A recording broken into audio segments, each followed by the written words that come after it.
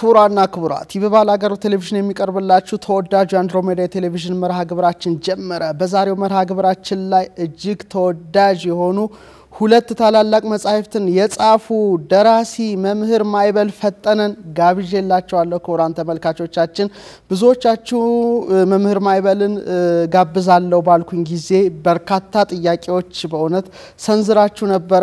ዛሬ ጥያቄዎቻችን ሁሉ ለመምህር አቀርብላችኋለሁ።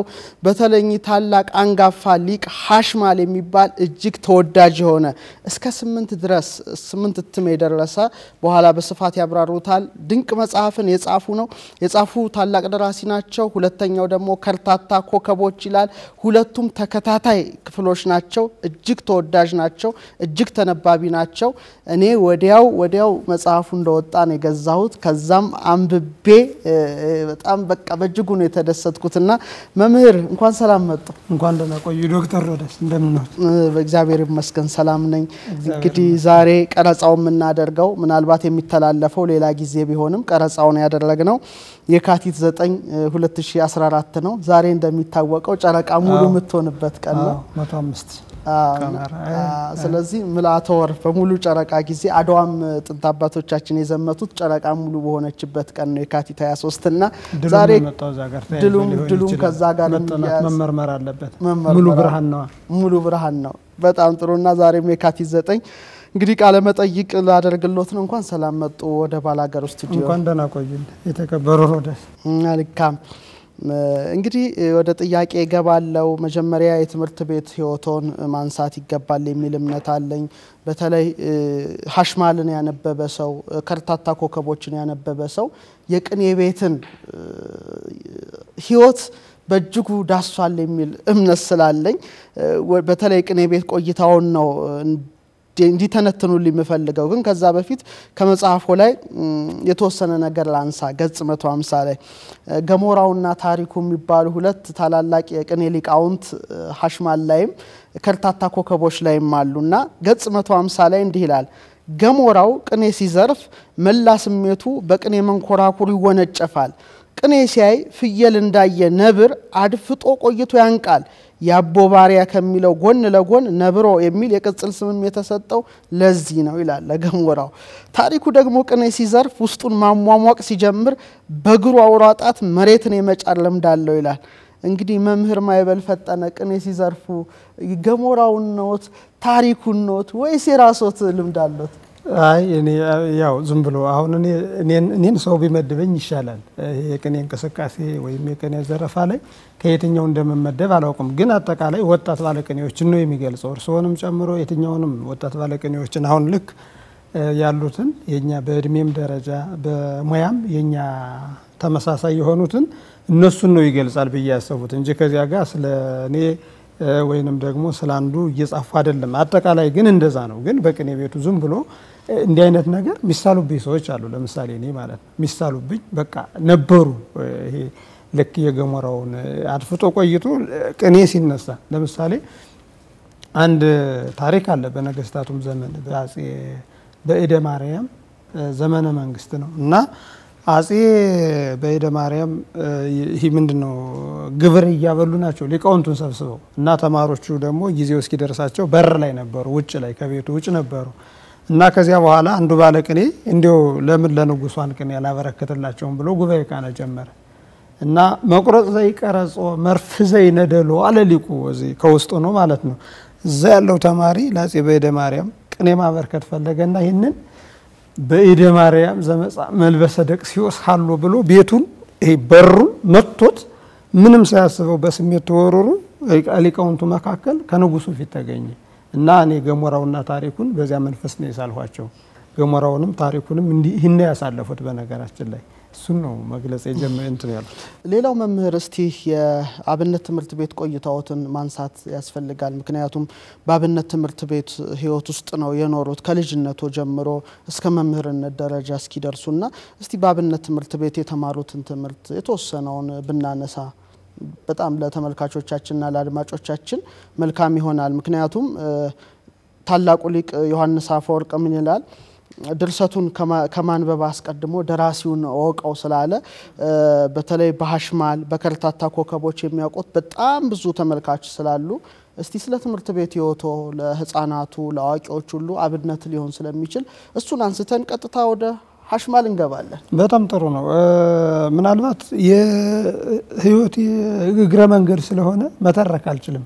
በእግረ መንገድ ነው የምኖረው። እኔ አሁን እስካሁን ድረስ የኖርሁት የኖርሁት የቆሎ ትምህርት ቤት ነው። ያው ከፊደል ጀምሮ አሁን እስካለሁበት ድረስ ተምሬያለሁ። ግን በየጊዜው የተጠና ህይወት ምናምን ምናምን የለኝም። ያ ማለት ግን ምን ማለት ነው? ባጭሩ ያው ትምህርት ፊደል እንደ ማንኛውም ጀመሩ። ከዚያ በኋላ ንባብ ተማሩ፣ ዳዊት ተማሩ።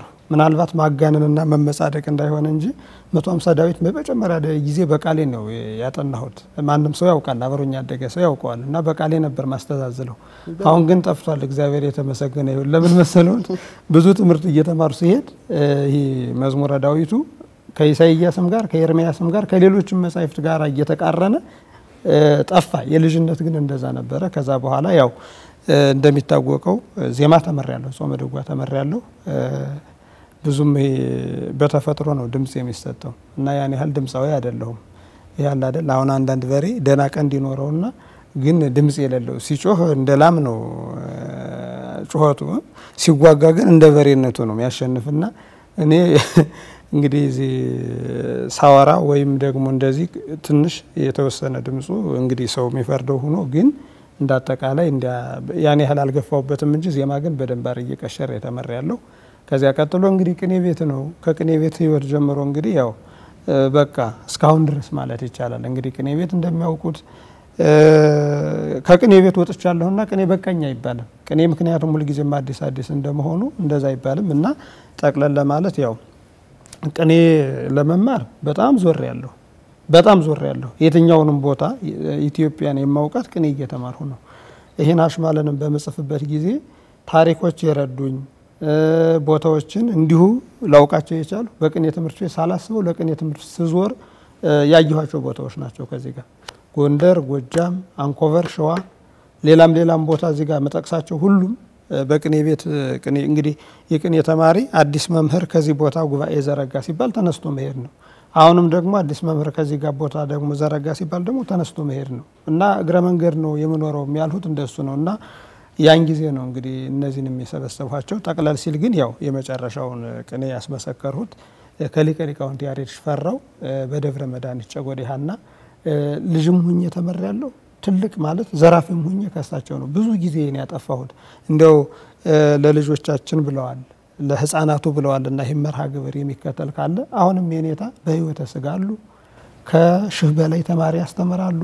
አሁን እንዲያውም ማህበረ ቅዱሳን ትልቅ ጉባኤ እንትን ብሎላቸው በዘንድሮ ዓመት እንደሚመረቅ ነው መረጃ ያለኝ። እርስዎም ባህር ዳር ተገኝተው እንደጎበኙት ልጃቸው መምህር ቅዱስ ያሬድም ሰላም አርጊው ከሁለት ሺህ በላይ ተማሪዎችን እንደሚያስተምር ያው እርስዎም አይተውታል። በፌስቡክም እያስተዋወቁት ነበር። ከዚያ ነው የተማረው እና ልጅ ሁኜ በጣም ህፃን ሁኜ እሳቸው ናቸው ያሳደጉኝ ማለት ይቻላል። ሊቀ ሊቃውንት ያሬድ ሽፈራው ህፃን ሁኜ ነው በቃ እንትን ያልሁት። ግን መካከል ላይ እንግዲህ ምንዳቤ ዘጸና ይላል የቅኔ ተማሪ መልሱ ምንድን ነው? በጨጎዴ ሀና ነው። ምክንያቱም ተማሪው ብዙ ነው፣ የሚለመን መንደር የለም። ልለምን ቢልም በይንተ ማርያም ልበል ቢል ያ ሁሉ ተማሪ ምግብ ስለማያገኝ እንሰበሰባለን። ኮቸሯችን እስኪያልቅ ድረስ እንበላለን፣ እንማራለን። ከዚያ በኋላ ኮቸሯችን ሲያልቅብን ደግሞ እንደገና ልመና ነው የምንሄደው። ቆላ ነው የምንወርደው። ቆላ ትውረዱ ወባ ይገላችኋል፣ ሙታችሁ ትቀራላችሁ ምናምን እያሉ የንታ ይለፈልፋሉ። እኛ እንሰማም። ጠፍተናቸው ቅድም እንዳሉት በምላሽ ጨረቃ ነው ጠፍተን ምንሄድ። ምላሽ ጨረቃ ካለች ዛሬ ጨረቃ ታድራለች እንልና ዝም ብለን ተነስተን በቃ በቆሎ ልመና እንሄዳለን። እንደዛ እንደዛ እያልሁ አደጉ፣ ተማርሁ። ያው የቅኔ መምህር ሆንሁ። አሁን ስመጣ ደግሞ ወደ መጽሐፍ ቤት ነው የገባሁ። ከዚያ በኋላ ልክ እኔ አስመስከሬ እንደጨረሱ ዲማ ገባሁ።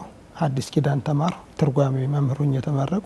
ከዚያ ቀጥሎ ሰዋስወ ብርሃን ቅዱስ ጳውሎስ መንፈሳዊ ኮሌጅ አዲስ አበባ ነው በ2003 የተላኩ።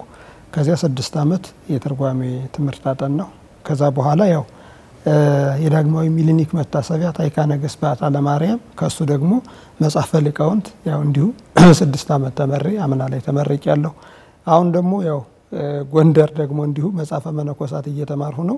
ምናልባት ያው በዚህ ዓመት እጨርሳለሁ ብዬ አስባለሁ። ለምን ክረምት ክረምት መጽሐፈ መነኮሳት እየሄዱ እዚህ ሲዘጋ ማር ስለነበረ አሁን መጽሐፈ መነኮሳት እየተማሩ ነው። እንግዲህ መጽሐፈ መነኮሳት ስጨርስ ምንድን ነው የአራቱ ጉባኤያት መምህር የሚባላል አደለ? ወደዚያ እመጣለሁ። እንግዲህ የኔ ህይወት የሚያስተምር ከሆነ ይህንን ይመስላል። አሁንም ተማሪ ነኝ። በጣም መልካም፣ እጅግ ያስተምራል። እንግዲህ የአራቱ ጉባኤያት መምህራን እንግዲህ በአብነት ትምህርት ቤቱ ይትባሃል አራት አይና ይባላሉ ይባላሉ። እንግዲህ ከጥቂት ጊዜያት በኋላ አራት አይና ሊቀ ሊቃውንት ይሆናሉ። መምህር ማይበል ፈጠነ በጣም በጣም ጥሪያችን አክብረው ስለመጡ አሁንም በድጋሚ በተመልካቾቻችን ስም ከፍተኛ ምስጋናችን እናቀርባለን። ከዚህ በኋላ ቀጥታ ወደ መጽሐፎ ነው በስፋት የምንሄደው። ምናልባት ከዛ በፊት የሚሉት ስለ አብነት ትምህርት ቤት ካለ ማለት ይችላሉ። ስለ አብነት ትምህርት ቤት ያው አሁን አብነት ትምህርት ቤት እንግዲህ እኔ አንድ ጊዜ አንዳንድ ጊዜ ይሄ አብነት ትምህርት ቤትን እንደ ድሮ አይደለም የምመለከተው፣ በሌላ መንፈስ ነው የምመለከተው። አሁን ለምን ከተባለ ይሄ የአብነት ትምህርት ቤት ሁሉም ነገር አለበት። ጥበብ አለው፣ ፍልስፍና አለው፣ ምንም ቅኔ ያለው ሁሉም ነገር አለበት። ማህበራዊ ኑሮዎችም አሉበት እና እኔ አሁን አሁን ይሄ ትውልዱ ትንሽ የአብነት ትምህርት ቤትን አድርጎ የሚያስበው ይሄ ምንድን ነው ድሪቶ የሚለብሱ አስተሳሰባቸው የወረደ እንዲህ እንዲህ አይነት ነገር አድርጎ ነበር የሆነ ጊዜ የሚታሰበው ማለት ነው። አሁን ግን እሱ አይደለም። አንድ ሰው ግዕዝ ተማረ፣ የአብነት ትምህርት ቤት አጠና፣ ወደዚያ ገባ ማለት ምንም ሳያውቀው እኔ ነኝ ያለ ደራሲ፣ እኔ ነኝ ያለ ፈላስፋ፣ እኔ ነኝ ያለ የስነ ከዋክብት ሊቅ፣ እኔ ነኝ ያለ ተመራማሪ እንደሆነ ነው ማውቁ። እንደሱ ነው ማምነው እና ማንም ሰው ዝቅ አድርጎ እንዳይመለከተው እመለከታለሁ። ምናልባት አንዳንዶች በሆነ ጊዜ እንግዲህ ይሄ ኮሚኒስት ወይንም ደግሞ እዚህ የስልሳዎች ትውልድ ይሄ ምንድን ነው ኢትዮጵያንም ይሄ ኢትዮጵያውያንም ስርዓት ጥሰው በአውሮፓውያን ይህ ምንድን ነው መንፈስ በዚያ ፈረስ የሄዱ ስለነበረ ከስልሳ ወደዚህ የመጣው ሰው አንዳንዱ የአማኒ ነኝ ይላል፣ አንዳንዱ ደብተራዎች ናቸው ይላል፣ አንዳንዱ ምን ይላል። ይሄ ምንም የማይሰድ ነገር ነው። ምክንያቱም ያለነው ኢትዮጵያ እስከሆነ ድረስ ኢትዮጵያዊን ነገር ማጥናት ነው ያለብን። ወደፊትም እናነሳዋለን በመጽሐፉ። በእርግጥ እንዲህ ቢልም አይፈረድበትም። ምንድን ነው ይባላል፣ አንዲት ቀበሮ ስጋ ዛፍ ላይ ተንጠልጥላ አየች ይባላል እና ብትዘል ብትዘል ብትዘል አልደርስበት ስትል ይሄ apple ነው እንጂ ስጋ አይደለም ብላ ሄደች ነው እና አለመቻል ሲቻል ብዙ ጊዜ እንደዛ ይሆናል። አሁን እንግዲህ ክቡራን ተመልካቾቻችን screen ኡ ላይ ሀሽማልን እያዩ ይገኛሉ። እንግዲህ ሀሽማል cover ኡን እያየ ነው እንገኛለን። አንድ ትልቅ አረጋዊ አባት የሆነ እጅግ ትልቅ ብራና ይዘው ይታያሉ። ሁለት ደግሞ ተማሪዎች ገሞራውና ታሪኩ ይመስሉኛል ጋደም ብለዋል እና ከዛ ልነሳ በተለይ ሀሽማል እጅግ የሚገርም መጽሐፍ ነው። ክቡራን ተመልካቾቻችን ሊያነቡት የሚገባው መጽሐፍ ነው። በእርግጥ ብዙዎች ገዝተው አንብበውታል፣ ግን አይጠገብም። ያልገዙትም እንዲገዙ በዚሁ አጋጣሚ ይጠቁማለሁ። ገጽ 11 ላይ ሳነብ እጅግ የሚገርም ነገር አገኘው። ምን ይላል? የተዋናይም በደመና መሄድ ይላል። ተዋናይም በኋላ ነው የምናነሳው። የነ ሊቅ አዝቁ ቀዳማዊውን ከበጋ ሰማይ ላይ ዝናብ የማውረድ ጥበብ ይላል። አንድ የነ ደብተራ ወጋቸው በጨለማ ውስጥ ያለ መብራት የሚነበብ መጽሐፍ ለመጻፍ የሚያስችል ቀለም ይላል።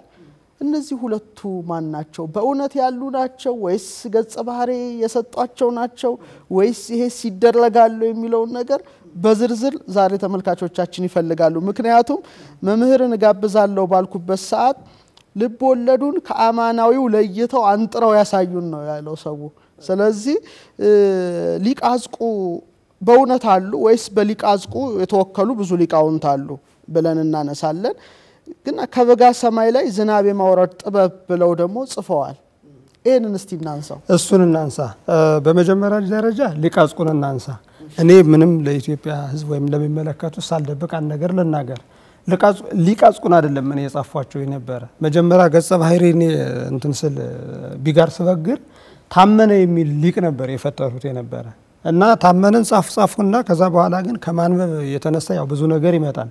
እያነበቡ እያነበቡ እያነበቡ ሲሄድ ልክ ከጨረሱ በኋላ ነው መጽሐፉን። በነገራችን ላይ እዚህ ጋር አንድ ነገር ልናገርና እንዴት ሆኖ እንዳይል ሰው መጽሐፉ ያለቀ በተሳስ ነው የታተመ ደግሞ በሐምሌ ነው የሚያሳትምልኝ። አጥቼ ብዙ ጊዜ ቆይቷል እና በቃ ጽፌ ከጨረሱ በኋላ እንዲሁ ሳነብ ሊቅ አዝቁን አገኘኋቸው። በህይወት የነበሩ በዘመነ መሳፍንት የጎንደር ሊቅ ናቸው። ያ ማለት ምን ማለት ነው? ሚሼል ዳቫዲል የተባለው ፈረንሳይ ይሄ ከፈረንሳይ የመጣው እንዲያውም ወይዘሮ ገነት አየለ ተርጉመዋለች መጽሐፉን ማለት ነው። ከዚያ ጋር እኔ ነኝ ያለው አዝቁ የጎንደር ሊቅ ስለ ጎንደርም ስለ ኢትዮጵያም ታሪክ ይናገሩ የነበረ በህይወት የነበረው በዘመነ መሳፍንት አገኘሁ። እኔ ታመንን ሰረሱና ለምን ሊቃጽቁ ካሉማ በዚያውም ላይ መታሰቢያ ይሆናል። ነገ ከነገ ወዲያ ትውልዱ ቢያውቃቸው ምን ችግር አለ? ገጸ ባህሪ ከመፈጠር እሳቸው በዘመነ መሳፍንት የነበሩ ናቸውና ይምጡ አልሁና ስማቸውን ከዚያ ወሰድሁት። እዛ በኋላ ግን እዛ የእሳቸው ስራ ምንድን ነው የሚለው ከበጋ ሰማይ ላይ ዝናብ የሚያወረድ እዚያ በኋላ ወደ የሌሎችን ነው የሚያካትት። ከዚያ በኋላ ሊቃጽቁ እንደ ገጸ ባህሪ የሆኑና በእሳቸው ስር የነበሩትን ከእሳቸው በፊትም ከእሳቸው በኋላም የተነሱ ሊቃውንት ይሄ ከበጋ ሰማይ ላይ ዝናብ ያወርዱ የነበሩትን እነሱ ለዛ በኋላ አስገባሁ። እዚያ በኋላ ሊቃጽቁ ግን የዚያ ሰው እንደነበሩ አላነበቡም፣ ግን አስገባሁላቸው። እዚያ በኋላ ሊቅ ናቸው፣ ይወክላሉ፣ ኢትዮጵያን ይወክላሉ፣ ሊቃውንቱን ይወክላሉና ለምን ይህን አላስጨብጫቸውም ብዬ ማለት ነው። ነገር ግን እውነታው ይገለጽ ከተባለ ከዚህ ጋር ይህንን ሊገልጽ የሚችል ከዚህ ጋር ነው የተጻፈው በመጨረሻ ከርታታ ኮከቦች ላይ። ለምንድን ነው ከርታታ ኮከቦች ላይ? የደብረ ኤልያስ የቅኔ ተማሪ የነበረ አገኘሁ ነበር ስሙ ግን እኔ ተከስተ ነው ያሉት ከዚያ በኋላ። እሱ ዝናብ ማውረድ የሚችል ነበር። እንግዲህ በአፈ ታሪክ እንደሚነገረው ዝናብ ማውረድና ይሄ ነገር ግን ይለያያል አንዳንድ ጊዜ ምን ለማለት ፈልጌ ነው ሰው ዝናብ ማውረድ እንዴት ነው ይላል ሳይንስ አሁን አወረድና ዘነምነ እያለ ነው በትክክል አዎ የእኛ አባቶችም በሁለት ነገር አውርደውታል። አንደኞች ያው እንደሚባለው በጥበብ ነው በእጽ ነው ያወረዱት። ይሄ በቅኔያቸውም አለ እነሱም አድርገውታል። ከቅርቡ ስንነሳ አሁን ይሄ ምንድን ነው ይሄ ምንድን ነው ከአዲስ አበባ ተነስቶ ይሄ እስከ ጎንደር ድረስ አልፎ እስከ ሊማሊሞ ምናምን የሚሄደው መንገድ በሚሰራ ጊዜ ቻይናዎች ራሱ እዚህ ጎጃም ላይ ሲደርሱ አንዱን ቄስ ጠርተው ክረምት ላይ መስራት እንፈልጋለን ዝናብ አቁምልን አሉት። ምን ችግር አለ ከከፈላችሁኛልና ቀጥ አደረገው። ያ ጉዳይ ህብረተሰቡን አንጫጫው። ከዚያ በኋላ ይህ ጉዳይ ቤተ መንግስት ድረስ መጥቶ ነበረ። አሁን በዘመነ ኢህአዴግ ማለት ነው። አዲስ ዘመን ጋዜጣ ላይ ወጥቶ ነበረ ይህ ጉዳይ።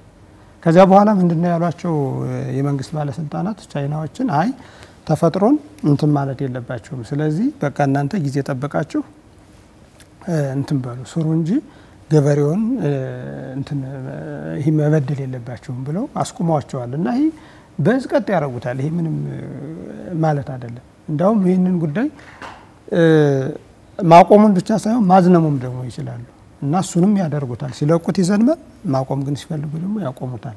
ይሄ በእጽ የምንለው ነገር ማለት ነው። እንዲያውም ደራሲ ኤፍሬም ስዩም በዚህ አጋጣሚ ወዳጄ ነው፣ ያው የታወቀ ደራሲ ነው።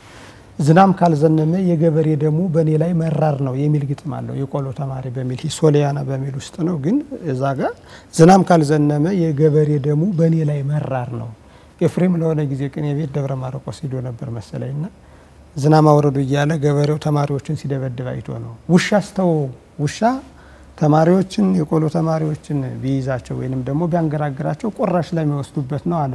ግን የቅኔ ተማሪውን በጣም የሚያስቸግረው ዝናም አልዘንም ሲል የገበሬው ራሱ ደሙ መራራ ይሆናል እና ያን ጊዜ ተማሪውን ይደበድባል። እኔም የማውቀው ብዙ የቅኔ ትምህርት ቤቶችን ገበሬው ራሱ አይ እናንተ ናችሁ ዝናብ የምታቆሙብን ዝናብ የምታወርዱብን ያለ ጊዜው በጊዜው ደግሞ ዝናብ የምታቆሙ እናንተ ናችሁ እያለ ቅኔ ቤቶችን ሲያፈርስ እኔ የማውቀው አንዱ እሱ ነው። ይህንን አይደለም እኔ ማስተላለፍ የፈለጉት። እርስዎ ተጠንቶ ይህ ነገር ቢሰራበት ደስ ይሎታል ወይንስ ምንድን ነው? አገሪቱ እኮ የእውቀት ሀገር ናት፣ የጥበብ ሀገር ናት፣ የምርምር ሀገር ናት። ስለዚህ በኔ በኔ ደረጃ ሳይንሳዊ በሆነ መልኩ ተጠንቶ ጥቅም ለሀገር የሚሰጥበት ለምሳሌ ብዙ ድርቅ ድርቅ የበዛበት ቦታ አለ። እስቲ ይሄ ነገር ይጠና ይመርመር እና ድርቅ የበዛበት ሀገር እስቲ እውቀቱን አሳዩን የሚል አካል ቢመጣና የዘርፉ ምሁራን ደግሞ ተሰብስበው እውቀታቸውን ቢያሳዩ እኔ ደስተኛ ነኝ ብዬ አስባለሁ። እና እንግዲህ በጣም ጥሩ። እኔም እሱን አሁን እንትን እንበለውና ወደ ዋና መጽሐፉ ስመጣ ይህንን ሊፈታላቸው የሚችል ከርታታ ኮከቦች ነው። ሁለተኛው መጽሐፍ ነው ሊፈታው የሚችል ከዚያ ጋር ነው ተብራርቶ የተጻፈ። ከዚህ ጋር እኔ አሁን በመጽሐፍ የጻፉት ያወራሁትን አይደለም።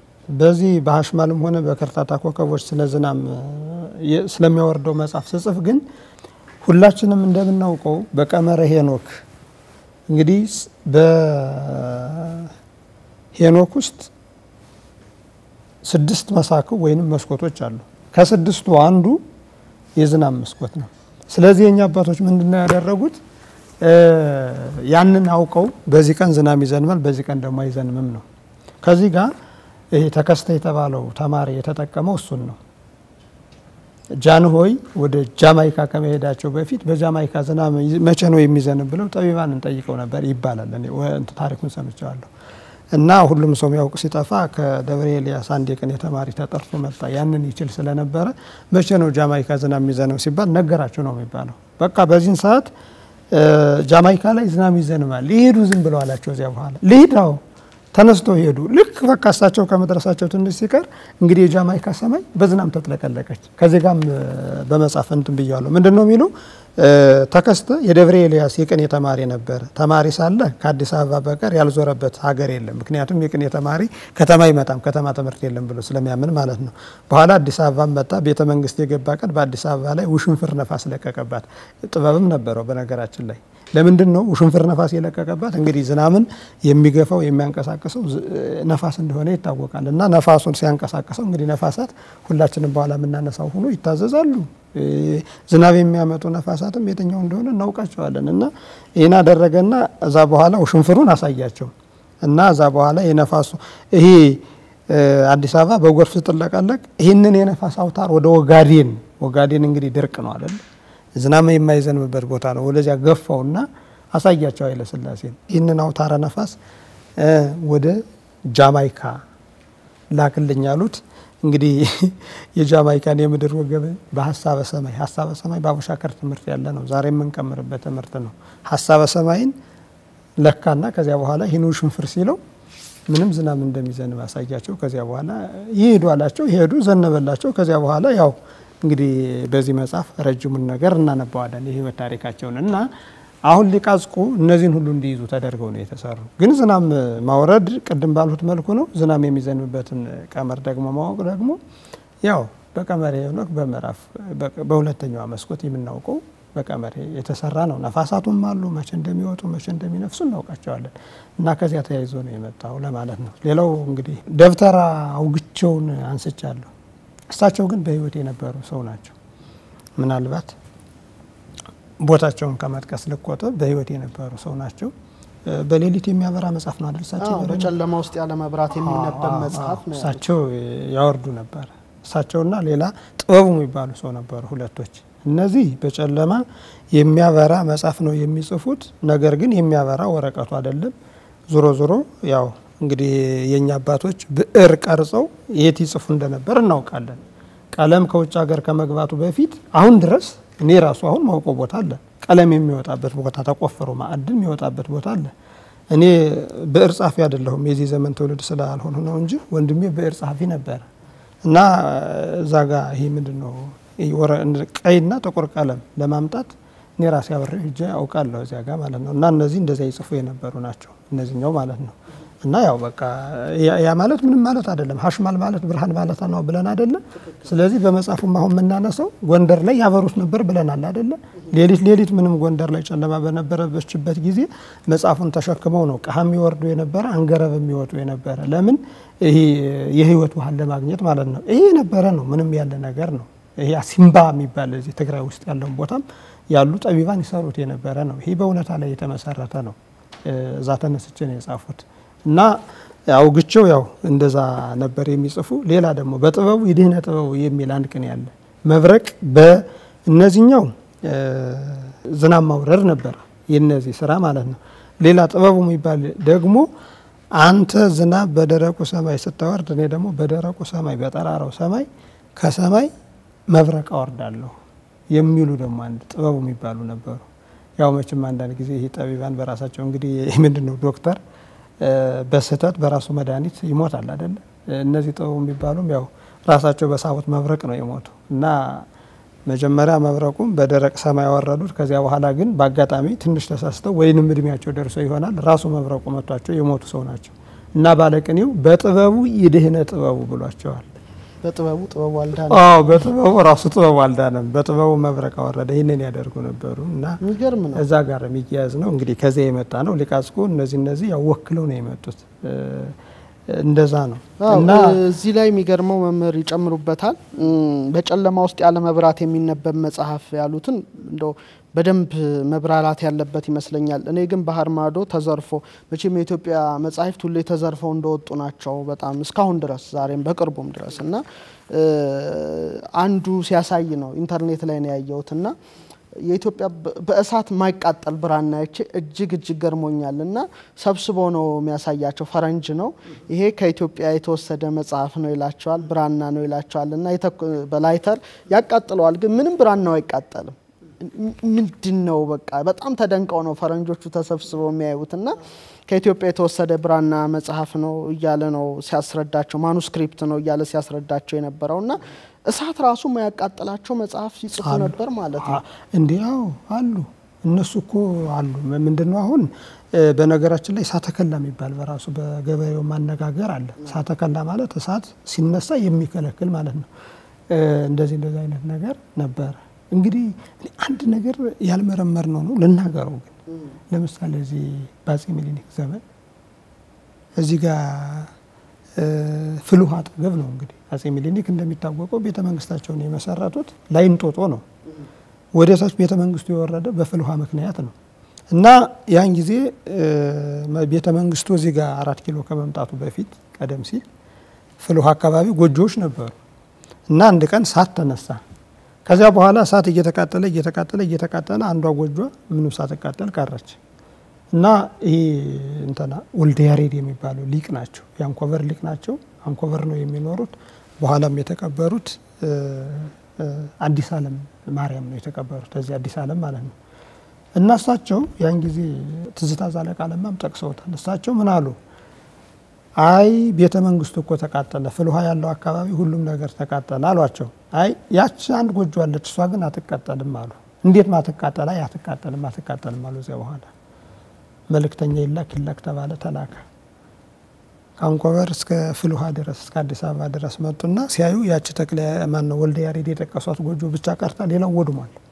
ከዚያ በኋላ ምንድን ነው የተባሉ? አይ እሳቸው የዘራቸው ነው በቅተው ሊሆን ይችላል ተክለ ማን ነው ወልደ ያሬድ ተባለ። እዚያ ጋር ማንሳት የፈለጉት ምንድን ነው ጎጆዎች ተቃጥለው ከዛ ከጎጆዎች መካከል አንድ ያልተቃጠለ ነገር እንዳለ ዝም ላይ ተጠቅሷል። እዚህ በአፄ ሚኒሊክ ዘመነ መንግስት ወደ እኔ ዘመን ልምጣ። ከዚህም ጋር ጠቅሼዋለሁ። እዚህ አርከለዲስ ላይ በኋላ እንመጣበታለን። ግን እዚህ ጋር ማነሳት ምንድን ነው በእኛም ዘመን ጎጆዎች ተቃጥለው ነበር እና አንድ የኔ ቢጤ ተማሪ እንዲሁ ዝም ብሎ ጎጆዎች እየተቃጠሉ እሱ ከጎጆዎች መካከል ቆሟል። ከእሳቱ መካከል ማለት ነው። ብዙ ጎጆዎች በመቶ የሚቆጠሮች ጎጆዎች አመድ ሲሆኑ የእሱ ጎጆዎች በቃ ፈጣ ቀረች፣ ምንም አልሆነችም። እና ከዚህም ጋር ጽፌዋለሁ፣ አየጄ እዚህ ጋርም ጽፌዋለሁ። እንዲያውም ቀውስ የሚባል ተማሪ ነበረ እየተቃጠለ እያለ ከእሳቱ መካከል ገብቶ ኮቸሮ አንስቶ ጠሪ አንስቶ ወደ አፉ አለቃመ ምናምን ብዬ እንዲሁ ያው መች ስለ ጽሁፍ ላይ ያው ሰፋ አድርጎ አይደል የሚጻፈው እሱን እሱን ጨምሬ ጽፌዋለሁ። ግን ታሪክ ነበረው እና እነዚህ እነዚህ ናቸው አሁን መጠናት ያለባቸው። ምንድን ናቸው እነዚህ ነገሮች? እሺ በነባሩ የአብነት ትምህርት ቤት እንደዚያ ኖሩ። ዛሬ ወደ ሳይንስ ብናመጣቸው እንዴት እናሳድጋቸዋለን? ስለዚህ አሁን በምርምር ላይ በጥናትና ምርምር ያሉ ሰዎች እኛ የሳይንስ ሰዎች አይደለንም። እርስዎ ነዎት፣ እኔ አይደለሁም፣ የሳይንስ ሰው አይደለሁም። ግን ይህን ይህን history ማጥናት አለባቸው፣ መመራመር አለባቸው። በቃ ምርምር ማለት እዚህ ጋር ነው። በቃ እንደዛ እኮ ነው። እዚህ በፊትም ለአንድ ሚዲያ ስናገር ነበረ። አባቶቻችን ለምንድን ነው ቤታቸውን መብረቅ ሳይመታው የቀረ? ሽንፋ ይወርዳሉ። ድባቃ የሚባል እንጨት አለ። እሱን ቆርጠው አምጥተው ከቤታቸው ጣራ ላይ ይሰቅላሉ። ከዚያ በኋላ መብረቅ የሚባል ነገር ቤታቸውን አያገኘውም አያገኘውም። ግን ያንጨቱን ራሱ መብረቅ ፈልጎ እንትን ይለዋል፣ ይመታዋል። ያኛው መብረቅ ይመታዋል፣ ግን በሚመታው እንጨት ነው ራሱ የተከላከሉት ማለት ነው። ወር አላቸው፣ ጊዜ አላቸው የሚቆርጡበት ቦታ ጠብቀው። ይሄ ምንድን ነው መብረቅ በማያገኘው ዘመን ራሳቸው ያውቁታል ገበሬዎች። ሄደው ይቆርጡና ያመጣሉ። እዚያ በኋላ ይጠብቃቸዋል። ይህ በእኛ ገር ባህል ሲሰራ የነበረ ሽንፋ በረሃ ይመጣ የነበረ እዚህ ጎንደር ውስጥ ይህ ምንም ተረት አይደለም። አባቶቻችን ኑረውታል። ከኖረ በቃ ግድ አንድ ሰው እኮ ሾክ ሲወጋው በወረንጦ ነው ያወጣ የነበር የኛ አባት ማለት ነው። ዛሬ አንድ ሰው ሾህ ቢወጋው ሕክምና ነው የሚሄደው ዶክተሩ ነው ሊያወጣለት የሚችለው። ግን በወረንጦ ሾህን ነቅሎ ካወጣ ዋናው ትልቁ ነገር ሾህ መነቀሉ ነው። ሌላ ምንም ትርጉም የለውም። እንደዛ ብዬ አስባለሁ። በጣም የሚገርም ነው። ክቡራን ተመልካቾቻችን ከመምህር ማይበል ፈጠነ ጋራ እጅግ አስገራሚ ውይይት እያደረግን እንገኛለን። ቤታችሁ ሆናችሁ ይህን ውይይታችን እያደመጣችሁ እየተነጋገራችሁ በተለይ ደግሞ ሀሽማልን ያነበባችሁ እየተወያያችሁ፣ ያላነበባችሁ ደግሞ መጽሐፉን ለማንበብ እየወሰናችሁ እንደሆነ ይሰማኛል። ካፍታ ቆይታ በኋላ ተመልሰን እንመጣለን።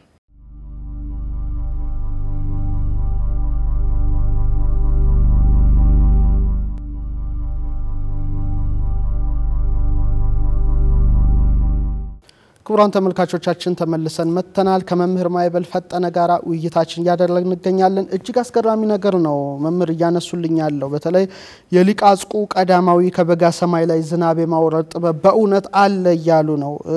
ነደብተራ ወጋቸው በጨለማ ውስጥ ያለ መብራት የሚነበብ መጽሐፍ ራሱ ብርሃን የሚሰጥ ብራና እንደ መጽሐፈ ብርሃን እንደማለት ነው ብለው የዘረዘሩት ነገር እጅግ አስገራሚ ነው። አሁንም ይሰራበታል፣ እየተሰራበት ነው። ወደፊት ደግሞ እንግዲህ ምርምሩ ከሰፋ ይፋ ይሆናል የሚል ሀሳብ እያቀረቡልኝ ነው። ተመልካቾቻችን እንግዲህ አድማጮቻችን ቤታቸው ነው እየሰሙን ይገኛሉ። እንቀጥልኛ ሌላው ሀሽማል ላይ እንግዲህ የብርሃን መጽሐፍ ነው። ሀሽማል ራሱ ብርሃን ነው ብለዋል። በጣም የሚገርም ነገር አነበብኩኝ። ምን ይላል? በከርከሮ ፊት የተገኘ የማሽላ ማሳና ባልተማሩ ሰዎች እጅ የሚገቡ መጻሕፍት አንድ ናቸው። ምንም ሳይጠቅሙ ድራሻቸው ይጠፋል። ዛሬ እንደምታዩት በመጻሕፍቱ ተመራምረን ከምናገኘው ሀብት ይልቅ መጻሕፍቱን ሽጠን መጻሕፍቱን ሽጠው የሚያገኙት ሀብት እየማረካቸው ሰነፍ ልብ ያላቸው ሰዎች መጻሕፍቱን ሽጠው ጨረሱብን። ሀገር በጥበብ እንጂ በገንዘብ የምትለማ መስሏቸው የአባቶቻችንን ጥበብ በገንዘብ ለወጡብን። ይኸው በፈረንጅ ሀገር ልሳናቸው ተዘግቶ የተቀመጡ የጥበብ መጻሕፍት ምስክሮች ናቸው ይላል። እጅግ ቃሉ ጠንከር ያለ ቃል ነው። ይህን ብለዋል። ሀገር በጥበብ እንጂ በገንዘብ የምትለማ የሚመስላቸው ዛሬም አሉ። ብራናዎቹም ልክ እንደ ኢትዮጵያው ሕዝብ ተሰደው ተሰደው ብዙዎች አሉ። የማየት እድል ገጥሞኛል። ቫቲካን ከሺህ በላይ ጀርመንም ወደ ብዙ ሺዎች የሚጠጉ ፈረንሳይም እንደዚሁ ብዙ ሺዎች የሚጠጉ አሜሪካም እንደዚሁ ብዙ ሺዎች ናቸው። አንድ library እንኳን ብቻ ወደ ስምንት መቶ ትልልቅ መጻሕፍት ማየት እጁን እንደ ኢትዮጵያው ይቆጫልና ስለዚህ ነገር ምን ይላሉ? በጣም ያሳዝናል። አሁን ምን እነሱ አሁን የእኛን መጽሐፍ ወሰዱት እንጂ አልተጠቀሙበትም። አልቦ ዘይፈት ማይተሚያ ነው የሚለው ለመጽሐፍ ራዕየ ዮሐንስ መጽሐፉን የሚፈታ የለም እንደተባለው አሁን ነጮች እኮ እየፈቱት አይደለም። አሁን የእኛን መጽሐፍ አልፎ አልፎ የእኛን ሊቃውንት ወስደው ካልሆነ በቀር ምንም አያደርጓቸውም። አሁን እርስዎም ማዩት እንዳሉ ላይብረሪ ውስጥ እንደዚህ ተዘግቶባቸው ምናምን ነው አይደል? ልሳናቸው ተዘግቶ ያለ እኛ ግን ብንይዝባቸው እነዚህ መጻሕፍት ለብዙ ነገር እንጠቀምባቸዋለን። እንደ ፍልስፍና ፍልስፍናቸውን እንጠቀምባቸዋለን። እንደገና ደግሞ የሕክምና ባለሙያዎች ደግሞ ለመድኃኒት የሚሆነውን ነገር ይጠቀሙበታል። የሃይማኖት የሚያስፈልጉትን ደግሞ የሃይማኖት ሰባክያን መምህራን ይሰብኩበታል። ፈረንጅ ሀገር ምን ያደርጋሉ? እነዚህ መጻሕፍት ምንም አያደርጉም። ልሳናቸውን የተዘጋ ከዚያም ላይ በዛውም ላይ የእኛ መጻሕፍት ዝረዋን አይደሉም። ምስጢራቸው ራሱ በቁልፍ የተቆለፈ ነው። እዚህ ሚዲያ ላይ ማይነገር ነገር እንዳልናገር እንጂ በእኛም ሀገር ተቆልፈው ያልተፈቱ መጽሐፎች አሉ እኔ የማውቃቸው ማለት ነው። እነዚህ ባልተማሩ ምላቸው ግዕዝ ሳይማሩ ወይንም ስለ ኢትዮጵያ ምንም ሳያውቁ ያሉ ፈረንጆችን ወይንም ነጮችን ያለዚያም ደግሞ መጽሐፎቻችን ወስደው የቀበሩትን ነው። እዚጋ ግልጽ እንዲሆን ቃሉ ከበድ ይላል ስላሉኝ መወረፌ አይደለም፣ እውነታውን መናገሬ ነው። እኔ እዚያ አንዳንድ ጊዜ ጽሁፎችን እንግዲህ ከዚህ ጽሁፍ በስተጀርባ ማውቃቸው አንዳንድ እውነቶች ስላሉ ትንሽ ጠጠር ያለ ቃል በመግለጽ ብዙም ሰው ይለኛል። ሀሽማል ይጎሽማል ምናምን እያሉ ሰዎች text ምናምን ይጽፉልኛል። እና መጎሸም አይደለም የኔ ሀሳብ የኔ ሀሳብ እውነታውን መጻፍ ነው። እና እንደዛ ናቸው። አሁን እነዚህ ውፍድፋዳቸው ይጠፋለሁ። አሁን ከርከሮ እኮ ከሚበላው ይልቅ በእግሩ የሚሰባብረው ነው የሚተኛበት ሲንከባለልበት እንደው ዝም ብሎ ከርከሮ የሄደበት ቦቀሎ ይሉት ምን ይሉት እዛ በኋላ አዝመራው አዝመራ አይሆንም። እዚያ በኋላ አሁን ፈረንጅም ዝም ብሎ አንድ ነገር ይይዛል፣ በቃ ያገኘሁ መስሎት እንትን ይዳከራል እንጂ እንደዛ እንደማለት ነው። እነዚህ ነው የሚያመለክት። ግን መቼም ሕጻናት ከሚበሉት የሚያበላሹት ይበልጣል ቢባልም ግን ጥበቡን በእርግጥ አልተጠቀሙበትም ማለት ይቻላል። ምክንያቱም ልል የቻልኩበት ምክንያት ከብዙ ምርምር የተነሳ ለምሳሌ መጽሐፍ አለ። መጽሐፉ ተገኘ ወር ተወሰደ እንበል፣ ግን መጽሐፉ መተርጎም የሚችሉም ሊቃውንት እንዳሉ ይታወቃል። የኛዎች ናቸው አበሻዎች የኛዎች ሂደው ፈተውላቸው አይደል? አዎ እና ምክንያቱም ይህን ልል የቻልኩበት ምክንያት አሁን በጀርመን በተለይ ራሳቸው የሚናገሩት አለ ብዙ መድኃኒቶች ያመርታሉ፣ ብዙ መድኃኒቶች ይሰራሉ። እነሱም ደግሞ አይደብቁም። ከዚህ ከዚህ መጽሐፍ ውስጥ የወሰድነው ነው ይላሉ። ማለት አንድ መድኃኒት አገኘ ማለት አንድ ሰው በሚሊዮን የሚቆጠሩ ዶላሮች አስገባ እንደማለት ነው እና ብዙ ጥበቦችን ከኢትዮጵያ ብቻ ሳይሆን ከመላው ዓለም እየዘረፉ ደግሞ research center ኡ እንደኛ እንትን አይደለም፣ በጣም የተራቀቀ ብዙ ነገር ያለበት ነው እና በደፈናው አበላሹ ቢባልም ግን አላወቁ ማለት እንችላለን። ድምዳሜ ውስጥ መድረስ እንችላለን። ድምዳሜ ውስጥ አንደርስም። ለምሳሌ አሁን ድምዳሜ ውስጥ መድረስ እነሱ እነሱ ሊቆች ናቸው። በነገራችን ላይ በያዙት ነገር በሁሉም ነገር ሊቆች ናቸው። ዛሬም አሁን ዓለም እየኖረች ያለ በእነሱ ፍልስፍና ነው። እሱን እናከብራለን፣ ሳይንስን እናከብራለን። በኢትዮጵያ መጽሐፍ ተጠቅመው ሊሆን ይችላል። መቶ በመቶ ተጠቀሙበት ብዬ ግን አላምንም። አይ ሀምሳውንም ተጠቀሙበት ብዬ እኔ በራሴ አላምንም። ለምን ከተባለ አሁን ቅድም ያነሷቸው ጀርመኖችን አንስተዋል። ጀርመኖችን ትንሽ ትንሽ ፍንጭ ያስተማሯቸው አቡነ ጎርጎሪዎስ የሚባሉ የእኛ ሊቅ ናቸው። ወደዚያ ሄደው ማለት ነው። ትክክል እና እሳቸውንም እዚህ ህንድ ነው የት ላይ አካባቢ ደሴት ላይ ጽፈውልኝ ነበር ጀርመኖች ራሱ በነገሮች ላይ ዶክተር እዚህ ጎተ የንባብ ማዕከል አላቸው እዚህ እና እነሱ አጥንተውታል። እና እዚህ ጋር እኔ ኖላዊ ያልኋቸውን የጎንደርን ሊቅ አቡነ ጎርጎሪዎስን ነው እንደዚህ አድርገ የጻፈ የውሉ ዶልፍ ያስተማሩትን እሳቸውን አልጻፏቸውም። ወደፊት ጽፋቸው ካልሆነ በቀር ሂስተሪያቸውን ግን አውቃለሁ፣ እንዴት እንደሄዱ እንዴት እንዳስተማሩ ማለት ነው። እሳቸውን አሁን ብዙ ነገር ብዙ ነገር አስተምረዋቸዋል ለጀርመኖች ማለት ነው። ከዚህ ጋር አሁን ማለት ያለብን ኢትዮጵያዊ ሊቅ አስተማራቸው ነው ወይንስ ፈረንጆች ተጠቀሙበት ነው? እነሱ ወደ እንትን ቀይረውት ሊሆን ይችላል፣ ወደ ቅመማ ወደ ኢትዮጵያዊ ሊቅ አስተማራቸው። አዎ አስተማራቸው ነው። እዚህም ጋር መጽሐፉ እነዚህ ጀርመኖች ከሱ ግር ይህ ምንድን ነው ክላውንስ ብዬ የጠቀሱት ጀርመናዊ ግዝም መናገር የቻለ ግዝም ያሳተመ በኋላም ይህ ሰማይቱ ኖላዊን የገደለ ብዬ የገለጹት አለ። ልክና የኛዎች አስተማሯቸው እንጂ እነሱ እንትን አላሉትም። የኛዎች ደው ግን ፈረንጅ መጥቶ አሁን ለምሳሌ ያን ነገር ልንገረዎት። አንድ ፈረንጅ መጥቶ ከዚያ ጋር ይሄን ያበሻ ሊቃውን ሰብስቦ ሲያሰለጥን ይውላል። ቤተ መንግስት አማካሪ ሆኖ ይገባል። ከዛ በኋላ የኞች በቃ ይመጡና እንዲህ ነው እንዲህ ነው እንዲህ ነው እንዲህ ነው ብለው መግለጫ ይሰጣሉ። ግን ያስተማራቸው ፈረንጅ ነው። አሁን እዚያ ጋር ሊቁ ፈረንጁ ነው ሀበሻው ነው? እኔ ፈረንጁ ነው ብዬ ነው መወስደው አይደለ? ወደ ፈረንጅ ሀገር ስንሄድም ደግሞ ሀበሻው ካስተማራቸው ሊቅነት መሰጠት ያለበት ለሀበሻው ነው። በጣም የሚገርም ነው። እንግዲህ መምህር እያነሱልኝ ያለው እንቀጥል እስቲ።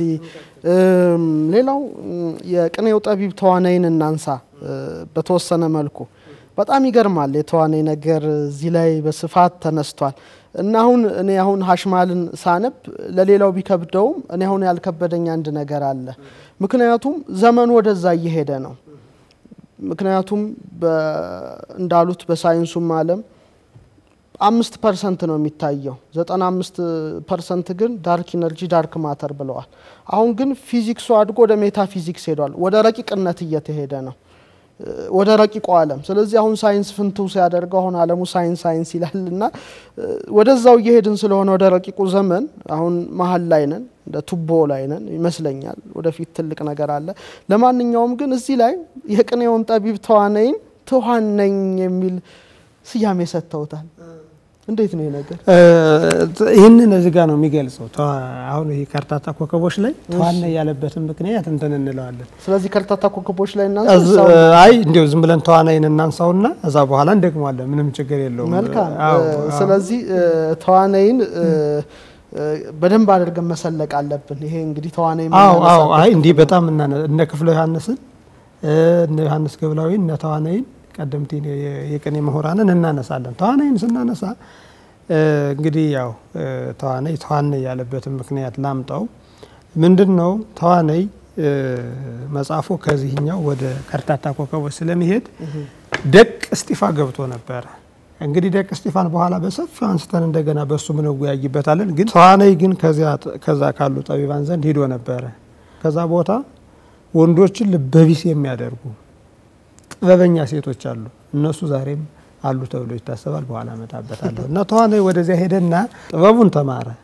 ከተማረ በኋላ ወደ መሀል ሀገር ወይንም ደግሞ እሱ ወዳደገበት ወደ ተወለደበት ጎንጅ ደብረ ጥበብ ወደሚባል ጎጃም ውስጥ የሚገኝ ነው አዴት ወረዳ፣ ወደዛ መመለስ ፈለገ እና ያች ጥበብ ያስተማረችው ሴት ወደዚህ እንዲመለስ አልፈለገች፣ እንዲመለስ አላደረገችው። ከዚያ ተዋናይ ምንድን ነው የተጠቀመው? የቅኔ ተማሪ ነው እንግዲህ ተዋናይ ምልዋጥ ይችል ነበረ። ያ ምልዋጥ ምን ማለት ምን ማለት ነው? በቃ አንድ ሰው ሰው ከነበረ ወደ ሌላ ነገር ተቀይሮ ያው ከቦታ ቦታ መንቀሳቀስ። ደራሲ ይስማይ ከወርቁ በአብዛኛው ሶስት መጽሐፍ ጽፏል ስለ ምልዋጥ ነገር ማለት ነው። እና ያቺ ሴት ግን በምልዋጥ ሊያመልጣት አልቻለም። በኋላ ምን አደረገ? እይታ ቀየረባት። እዛ በኋላ ወጣ እና ተዋና ያላት ነው። እዛ በኋላ ማለት አንዳንድ ሰዎች ግን ሌላ ትርክት ይተርካሉ። ያ ግን አይሰድም። ወደ ተዋንነት ተለወጠ። ከዚያ በኋላ በአቆማዳ ላይ ለከክ ብሎ መጣ። አንድ ነጋዴ ያመጣው እዚህ መሀል አገር ሲደርስ ምንድነው ሲሉት ተዋን ብሎ ተናገረ። እሱ አይደለም የሚሰደው ማለት ነው። ቅድም እንዳሉት ብዥታ ነው የፈጠረባት እና በዚያ መልኩ ነው። ግን ሰፋ አድርገን እናነሳዋለን። እነዚያ ሴቶች ምንድን ነበሩ? እንዴት ለሴቶች ጥበብ ተሰጠ?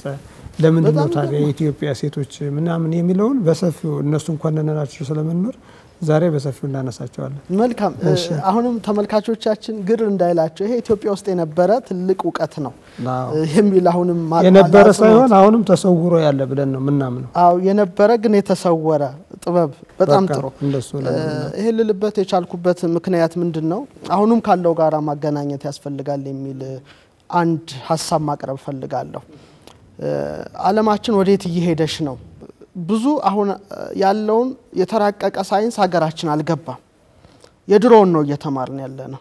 ግን አሁን ምን እየተሰራ ነው የሚለውንም እግረ መንገዴን ላንሳ። ምክንያቱም አሁን ያሉት ግኝቶች ሁሉ የጥንት እውቀቶች ናቸው፣ የጥንት እሳቤዎች ናቸው የሚል እምነት ስላለኝ ነው። ለምሳሌ በጦር ሜዳ አሁን እየተሰሩ ያሉት ሄሊኮፕተሮች፣ ታንኮች ማይታዩ ናቸው፣ invisible ናቸው። ይታያል ግን ሊታይ የሚችለው ሳር ነው። ታንክ ግን ነው መሳሪያ። ማይታይ መርከብ ተሰርቷል በእነ አልበርት አንስታይን እና የተወሰነ ነገር ነው ያደረጉበት ተመራማሪዎቹ electromagnetism ምናምን ጨማመሩበት። ብቻ መርከቡ ተሰወረ። ፊላደልፊያ experiment ይባላል እና መርከብ ውስጥ ያሉ crew member ኦች የሚባሉት አስተናጋጆቹ፣ ሊቀ ሐመሩ ወዘተርፈ በመንፈስና በስጋ መካከል ነው ያደረጋቸው። አንዳንዴ መንፈስ ሆነው በግድግዳ ውስጥ እንዲሾልኩ ያደረጋቸው። ይህ አሜሪካ የተሰራ ስራ ነው። አሁን የምዕራቡ ዓለም ሳይንስ ወደ ረቂቁ ዓለም እየሄደ ነው።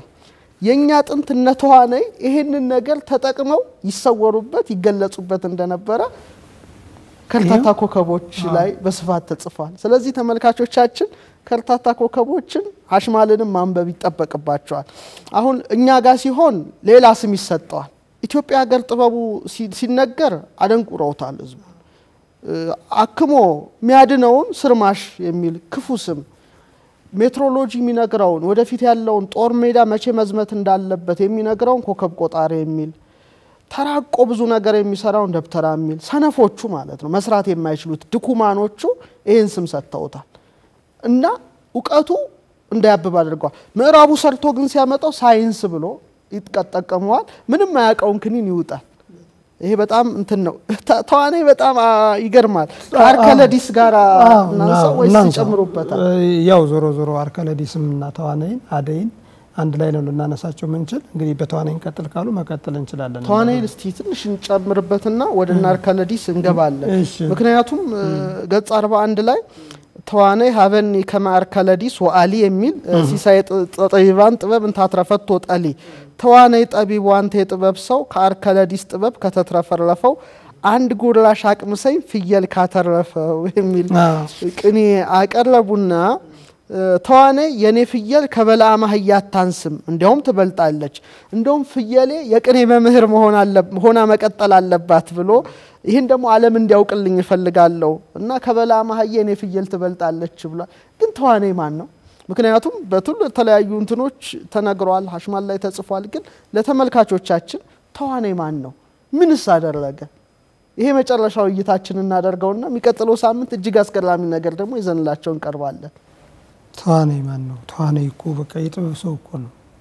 ይሄ ተዋነይ እኔ አንዳንድ ጊዜ አባቱ ዲዲማስ ነው የሚባለው ተዋነይ በቃ በሊቃውንት የዘር ሀረግም አለ። ተዋነይ ሊያጎላውና ሊያገነው የቻለ የቅኔ መምህር ብቻ ለመሆኑ ነው፣ የጥበብ ሰው መሆኑ ነው። ተዋነይ አሁን ባለው እንዲያውም ብዙዎች እኮ ተዋነይ ግራ አጋብቷቸው ብዙ ስም ሰጠውታል። እነ ተክለ ኢየሱስ ዋቅጅራ ጠንቋይ ነበረ፣ በደመና ይሄድ ነበር ብለውታል። በደመና መሄዱን በደመና መሄዱን አምነዋል። ግን በደመና የመሄዱን ጥበብ እነሱ ስለማያውቁት ጠንቋይ ነው ብለውታል። እና እንዲያውም ምንድነው ተዋናይን በሌላ መልኩ ይከሱታል። ያ ማለት ምን ማለት ነው? አጼ በካፋ ህይወታቸው አጼ በካፋ አርባ ዘመን ነው ምናምን ይነግሳሉ የሚል እንግዲህ እውነተኛ ባይታዊ የሚሆን ሀሰተኛ ባይታዊ የሚሆን አርባ ዘመን ትነግሳለህ ብሏቸዋል። ያ ማለት ምን ማለት ነው? እንግዲህ ዝም ብለን በመጽሐፍ ቅዱስ ምናየው ዳዊት አርባ ዘመን ነግሷል። ሶሎሞን አርባ ዘመን ይችን ሀገር ማነው እስራኤልን ቀጥቅጦ ገዝቷል። በዚህ ምክንያት የእኛ ሰዎች እስከ ጃንሆይ ድረስ ብናየው አርባ አርባ ዘመን የመግዛት የመመኘት በመጽሐፍ ቅዱስ ሺህ ዓመት ያንግስህ ነው። እንደ ኢትዮጵያ ደግሞ አርባ ዘመን የመግዛት ነው። አጼ በካፋንም እንዲህ እንደ አባት ወት አርባ ዘመን ይገዛሉ ተብለው ነበር። ግን አጼ በካፋ ከዘጠኝ ዓመት ያለፈ እድሜ አልኖራቸውም እና የዚያኛው ሰውዬ ትንቢት ከሚታጠፍ ለምን ሌላ መላ አንፈጥርም ተባለ። ምን መላ እንፍጠር? አይ ተዋነይ ሰይጣን ስቦ በሰይጣን ጭኖ በደመና አድርጎ ይዟቸው ሲሄድ አጋጣሚ ቀመር ተሰስቶበት ሰይጣናቱ ጥለው ተበትነውበት ተንቆጫቁጨው ከሰማይ ወደ መሬት ተንቆጫቁጨው ሞቱ እንበላሉ እና እዚያ በኋላ የተዋናይን ስም አጠፍተው የንጉሱን ስም አጋነኑት። እውነታው ግን ይህ አይደለም። ተዋናይ በደመና ይሄዳል። ግን ተዋናይን የአጼ በካፋን ሕይወት የቀጠፈ አድርገውም የጻፏሉ። አስማተኛ ነው ያሉም አሉ። መተተኛ ነው ያሉም አሉ። ግን እውነታው ሲታይ ተዋናይ ሊቀ ነበልባል የሚል የክብር ስም አለው። አሁን ዛሬ መላከ ብርሃን መላከ ገነት እንደሚባሉት እሱ ሊቀ ነበልባል የሚባል ነው። እንግዲህ ነበልባል እሳት ነው፣ ነበልባል ነፋስ ነው። ነፋስም ራሱ ነበልባል ይባላል። አንዳንድ ጊዜ ያቃጥላል፣ ያው በውጭም እንደምናየው ማለት ነው። እና ተዋናይ በደመና እንደሄደ ይተረካል፣ ይነገራል። ዛሬስ በደመና የሚጫኑ አሉ የሉ? አልፎ አልፎ ይኖራሉ። እገሌ ብለን የምንጠቅሰው ይህ መጽሐፍም ሲጻፍ ሙሉ ልብ ኑሮኝ እንድጽፍ የገፋፋኝ ይሄዳሉ ብለን የምንጠራጠራቸው ምናማቸው ሰው አሉ በህይወትም አሁን ማለት ነው። እና ወደ ተዋናይ ስንመለስ ግን ተዋናይ በደመና መሄዱን የትኛውም ሰው ያምናል። ታሪክም ተጽፎለታል፣ ግጥምም ተገጥሞለታል። ተዋናይ በጣና ይመስላል ደመና። ለምንድን ነው ተዋናይ ሄደ የሚባለው? ወደ ሰሜን ነው። ሰሜን ደግሞ ማን ነው? በሰሜን በኩል ደግሞ ማነፋስ ይወጣል ካለ መስ ነው። መስ ማለት ሰሜን ማለት ነው። ማዕዘን ስለሆነ ማለት ነው። ሰሜን በሚለው ያለ ነው። መስ ነው። እንግዲህ የመስ ነፋሳትን ስንመለከተው ሶስት ጠባይ ያለው ነው። በአቡሻህርም የተጻፈው አሁንም ዓለም እየኖረው ያለ ያ ምንድን ነው? አንዱ ወደ ባህር የሚገባ ነፋስ ነው። ባህር ይገባል። ባህሮችን ነው የሚያናውዝ። በባህር ውስጥ ያሉትን ነው ህይወት የሚሰጥ። እንዲያውም አሳን አይተዋት ከሆነ አሳ ውሃ መጠጣት ስትፈልግ ከስር አይደለም የምትጠጣው፣ ከላይ ወጥታ ውሃ ጠጥታ ወደ ስር ነው የምትገባው። ሌላው ደግሞ አሳ አየር አሁን አንዳንድ ጊዜ አሳ ውሃ ውስጥ የሚኖር አየር ማይቀበል ይመስላችኋል ሰው ግን ይህን መስ ከመስ የሚመጣ ነፋስን ግን ማለት ነው አሳዎች አይታችኋቸው ከሆነ ጣናም ሐዋሳም የሚሄድ ሰው ሊታዘበኝ ይችላል። ከባህሩ ውስጥ ይኖርና ማለት ነው የሆነ ትንኝ ከላይ እንደሚለቅም አሳዎች ፍንጥር ብለው ይወጡና ማለት ነው ነፋስም ተቀብለው ውሃም ጠጥተው ወደ ውስጥ ይገባሉ። እና ይሄ ስመ ነፋስ ነፍሳት የሆኑ ለማያት የውሃዎች ህይወት ነፋስ ነው የተባለው ያ ነው። አንዱ እሱ ነው እና ከመስ የሚመጣል። ሌላው ሁለተኛው ይህ ነፋስ በዚህ ዓለም የሚዘራ ነፋስ ነው። ሶስተኛው ወደ ገነት ይሄዳል ነው። እነዚህን ሶስቶችን በቀመር ወደ አንድ ማምጣት የሚችል ሰው ወይንም ደግሞ እንግዲህ ያው ቀመራቸውን መቼም በአብነት ትምህርት ቤት ካልሆነ በቀር እዚህ ጋር እንዘረዝራቸውም አግባብም አይደለም። እነዚያን ነገር ለሚያስተካክልና ለሚሰራ ሰው ነፋሳት ራሱ ይታዘዙለታል። ነፋሳት ማንን ያመጣሉ? ደመናን ያመጣሉ። ከዚያ በኋላ ይቀጥላሉ። በነገሮች ላይ ዶክተር ይህንን ነገር እኛውን የአብነት ተማሪዎች ስለሆነ የቤተ ክርስቲያን ሊቃውንት ስለሆነ ሰው እንደ ሌላ ሊያየው ይችላል። እኔ ሀሽማልን ያነበቡ አንድ የእስልምና እምነት ተከታይ ደውለውልኝ ነበረ። ፒያሳ ነው መኖር ብለው ምናልባት ይህን interview ካዩ ሊረዱት ይችላሉ። እና ምንድን ነው ያሉኝ እሳቸው ይህንን አንተ የጻፍከውን መጽሐፍ አያት የሚት የሚሰሩት ነበራሉ። ለምን ከተባለ ይህንን አቡሻክር የሚባለውን ትምህርት ስለ ጨረቃ አሁን ሙስሊሞች በጨረቃ ነው አይደለ ረመዳንን የሚጾሙ የሚገድፉ ከጨረቃ ጋር ጨረቃ ስትወጣ ነው አይደለ እንትን የሚሉት ይሄ አቡሻክር ደግሞ ከዚያም ጋር የተያያዘ ስለሆነ ይህንን ይጠቀሙት ነበር። እና ምንድን ያሉ በስልክ ደውለው ነው ይህንን አንተ የጻፈውን ነገር አያት የሚጠቀሙት ነበረ እና በነፋስ ፍጥነት ነው የሚሄዱት። ከፈለጉት ሀገር ደርሰው ይኖሩ ነበረ ነው። ያንን ተያይዘን እንግዲህ ይህንን ነገር ተመራምነን እንዴት እንድረስበት፣ እንዴት እንወቀው፣ ወደ የትኛው እናምጣው የሚለውን እንመራመርበት እንጂ መንቀፍ ግን የለብንም። እና ተዋናይ ይሄድ ነበር። በቃ ምንድን ነው ተዋናይ ብቻ አይደለም፣ ሊቁ ክፍለ ዮሐንስም እኮ አድርጎታል። እዚህ መጽሐፍ ላይ እንደተጻፈው እነዚህ ሁለቱ ሊቃውንት ምንድን ነው ያደረጉት? ተዋናይ ጎጃም ላይ ተቀምጦ በተመሳሳይ ሰዓት እንግዲህ ቅዳሴ የሚወጣበት ሰዓት ይታወቃል። ምናልባት ልዩነት ቢኖረው የሁለት የሶስት ደቂቃ ነው። አንድ ሰው ደግሞ ከጎጃም ተነስቶ ወይንም ደግሞ ከጎንደር ተነስቶ ደብረ ብርሃን ስላሴ ድረስ በደቂቃ መገለጽ አይችልም። አንድ ቀን ይጨርሳል። በድሮ ዘመን ወራትን ይጨርስ ነበር። እንግዲህ ለመምጣት ከጎጃም ተነስቶ ጎንደር ለመድረስ አዲስ አበባ ለመድረስ ሳምንታትን ይጠይቃል። እንግዲህ በድሮው ዘመን እንዲያውም ጫካ ነበረ። ተዋናይ ግን ምንድን ነው በተመሳሳይ ሰዓት ጎጃም ላይ ቅኔ ይቀኛል፣ ቅዳሴ ሲወጡ ጎንደርም ላይ ይቀኛል። ይህንን ያደርግ ነበር ተዋናይ። ይህንን ያዩ ሰዎች ተዋናይ በጣና ይመስላል ደመና ብለው ግጥም ገጥመውለታል። ወደ ክፍለ ዮሐንስ ዘጎንደር ደግሞ ስንመጣ እሳቸው የጎንደር ሊቅ ናቸው፣ የታወቁ ናቸው። እንዳውም ሊቃውንትን አንዳንድ ጊዜ የማይመራመሩትን በመዝለፍም ይታወቃሉ።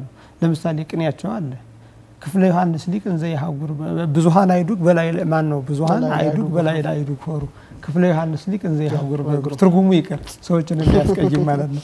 እና ክፍለ ዮሐንስ ሊቅ እንዘ ይሃጉር በእግሩ ያሉ ሊቅ ነበሩ። እሳቸው አዳፋ ልብስ ነው የሚለብሱት ጥምጣም አይጠመጥሙም። ከሊቃውንቱ ጋር አይግባቡም። ባይታዊ ናቸው፣ ጸሎተኛ ናቸው። በቅኔም ነገር ይታወቃሉ። እና እሳቸው በደመና ይሄዱ እንደነበረ ከራሳቸው ቅኔያቸው ነው የምናውቀው። ምንድን ነው ቅኔውንም ሆነ ብለው ነው አይደለም። ጥበቤን እወቁልኝ፣ ሰብናዬን ተረዱልኝ፣ ሊቅነቴን ሰማይ ሰማያት አድርጋቸው አቀንቅኑልኝ ብለው ሳይሆን ከዕለታት አንድ ቀን እንግዲህ ሐምሌ ስላሴ ነው ደብረ ብርሃን ስላሴ አለ ሸዋ ላይ ደብረ ብርሃን ጎንደር አለ ስላሴ እና ክፍለ ዮሐንስ ከሁለቱም ቦታ ተገኝተው ነበረ። ከጎንደር ሊቃውንት ላይ አብረው አገልግለዋል። ከሸዋ ሊቃውንት ጋርም አብረው አገልግለዋል። ስመጥር ሊቅ ስለነበሩ አሁን ዛሬ ለምሳሌ ጠቅላይ ሚኒስትሩ እዚህ ቦታ ይህንን ጎበኙ ተብሎ እንደሚናገር ስመጥር ሊቅ ስለነበሩ ክፍለ ዮሐንስ ዛሬ ጎንደር ላይ ቅኔውን አሳመሩት፣ ማህሌቱን መሩት ተብሎ ተነገረላቸው። እዚህ ደግሞ ሰሜን ሸዋ ደግሞ ደብረ ብርሃን ዛሬ ክፍለ ዮሐንስ ከጎንደር ወደ እኛ መጥተው ከእኛ ጋር ሲያገለግሉ ኖሩ ብሎ ወሬው ተናፈሰ። ከኛ ነው የዋሉ ከኛ ነው የዋሉ ሲባል እዛ በኋላ ጥያቄው ከረረ። ለምን እሳቸውን አንጠይቃቸውም ተባለና የሐምሌ ስላሴ የት ነው የዋሉ ተባሉ። ጎንደር። የሸዋው ደግሞ የሐምሌ ስላሴ የት ነው የዋሉ አላቸው። ሸዋ ደብረ ብርሃን አሉ። እንዴ ከዚህም ከዚህም እኮ አሉ እንዴት ነው አላቸው። እዚያ ምንድን ነው ያሉ እሳቸው ንህነኒ በግብረ ቅኔ ዘበሆሳይና እምደገፋይ ወተገፋይ ንትመሰጥ በደመና እኛ በደመና ወደ የትኛውም ቦታ መሄድ እንችላለን ነው በቃ። ስለዚህ በደመና ሄጄ ነው እንጂ ሁሉም ቦታ ላይ ነበር ሆኖ እሱን እንዴት እንመራመረው እንዴት እናውቀው? ቅድም ባልኩት መልኩ ነው የሚጠናው። ሌላው ተዋናይ እንግዲህ የቅድም የተዋናይን ፍየል አንስተን ነበረ ከአርካሌዲስ ጋር አድርገ አንስተን የምናነሳው ካልሆነ በቀር እንቀጥላለን። በጣም የሚገርም ነው። ስለ ተዋነይ ፍየል በሚቀጥለው ሳምንት ብናነሳ መልካም ይመስለኛል። እውነት ለመናገር የጥንቱንም ትምህርት እንደተማረ አሁንም ያለውንም ነገር እንዳየ ሰው ሆኜ ስናገር አሁን ዓለሙ እየሮጠ ያለው ይህን እውቀት ለመያዝ ነው። በቃ አለቀ። አሁን ዓለም ውስጥ ያለውን ነባራዊ ሁኔታ ኢትዮጵያውያን ማወቅ አለባቸው የሚል እምነት አለኝ። time travel የሚባል በጊዜ ወደፊት ወደኋላ መሄድ፣ ልክ እንደ ነፋስ ፍጥነት መሄድ፣ remote viewing ሩቅ ቦታ ማየት በአንድ ጊዜ በተመሳሳይ ቦታ መገኘት አሁን recently ሳይንሱ እየሄደበት ያለው ነው እና ዶክተር አብርሃም አመሀ በዚህ ላይ ሀያ ዓመት የለፉ ታላቅ ተመራማሪ ናቸው። አስተዋውቆታለሁ በጣም በጣም እና ኢትዮጵያ ትቅደም የሚል ሀሳብ አላቸው በዚህ ምርምር። ኢትዮጵያ ድሮ መንፈሳዊት ሀገር ናት፣ የሚመጥናትም ይሄ እውቀት ነው እና እነዛ ሳይዙት በፊት ኢትዮጵያ ትቅደም የሚሉት እንትን አለና ከእሳቸውም ጋራ እንግዲህ እኔታ የሚሰሩት ስራ ሊኖር ይችላል የሚል እምነት አለኝ።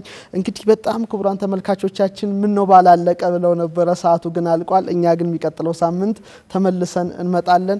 ክቡራን ተመልካቾቻችን በእጅ ያስኩት ሀሽማል ነው። የሀሽማሉ ደራሲ መምህር ማይበል ፈጠነ ጋር ቆይታ አድርገናል። አንቡት ሀሽማልን። የሚቀጥለው ሳምንት አንብባችሁ መገናኘት አለብን። ክቡራን ተመልካቾቻችን በሚቀጥለው ሳምንት ውይይታችን ይቀጥላል። እስከ ሳምንት ቸርን ሰንበት